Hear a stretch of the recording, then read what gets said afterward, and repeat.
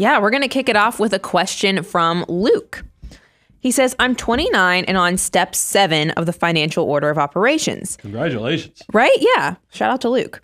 Do the rules about saving cash change once you hit the 25% savings rate that we talk about? I've been investing the extra amounts, but I'm wondering if I should have extra cash on hand in case the quote unquote tide goes out. So, how should he think about this? So he's asking the powder money question, mm-hmm. Brian. Okay, well, I'm, I'm doing what I'm supposed to be doing. Uh, I follow the financial order of operations. If you've never heard of that, go to moneyguy.com slash resource. We have a free, you want to hold it up? We have a free Oh, yeah. deliverable. Oh, oh, yeah. A little rusty. we have a free deliverable where you can go check out the nine tried and true steps. And he's saying, hey, I'm on step seven. I'm in the hyper accumulation phase.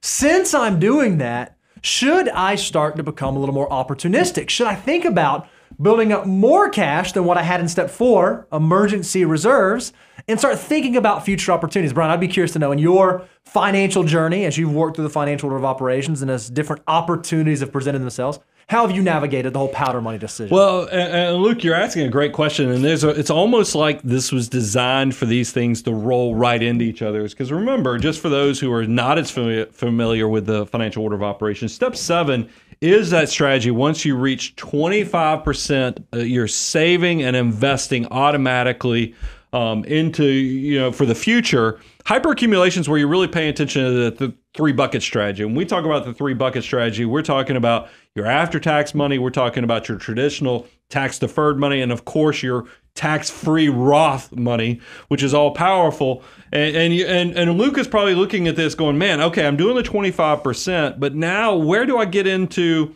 the the big decisions? Not only of do I keep more cash so I have more powder money for the future? But is this when I fund the kids' college? Is this when I buy the nicer car and expand this to lifestyle? All the all those things bleed right into step eight of the financial order operations really well because that's exactly what you, you've already done the, the foundation. So now you're you're playing out is this after tax, is this tax deferred, which is step seven, but now you're kind of graduating into step eight. And you say, what's the next dollar need to go to? And I will tell you, my own journey, I have found, and, and, this is something you can learn from watching people like Warren Buffett and others, is I do want you to build the foundation first. And that's what steps one through seven will get you.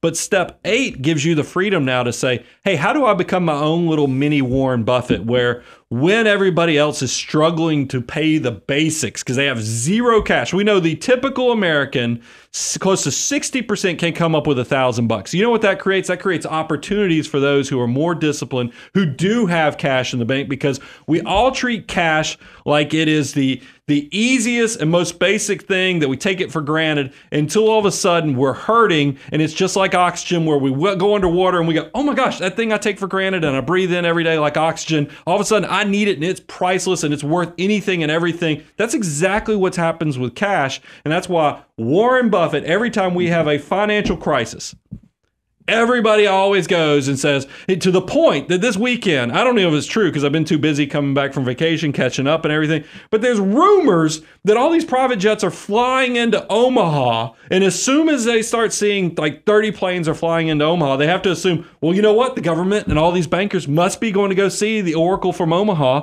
to figure out how we're going to get all the banks into better places. That's a one heck of a place to be because we know Warren Buffett and Berkshire Hathaway made billions after the Great Recession because when everybody else was struggling to have money, they had resources and were able to capitalize off of that. Now, look, I'm not saying sit around with a bunch of cash to the point that it's unhealthy for you, but I think there is nothing wrong when you get into those more mature stages. You do have a decision when you're in step eight and then leading into step nine that maybe you prepay some additional debt like your your you look at your mortgage you look at other things and say should i pay down more debt or should i be like we've i bought real estate. I mean when bo and i when we came through the pandemic everybody was thinking we're going to work from home forever and maybe for some people they are but i also knew that this was going to create a contrarian opportunity that a lot of people who are going to be scared about owning commercial real estate would probably be looking for the exits, as well as the government was very scared about this. So they mm-hmm. created a lot of opportunities to, to reduce the friction by opening up the small business 504 loans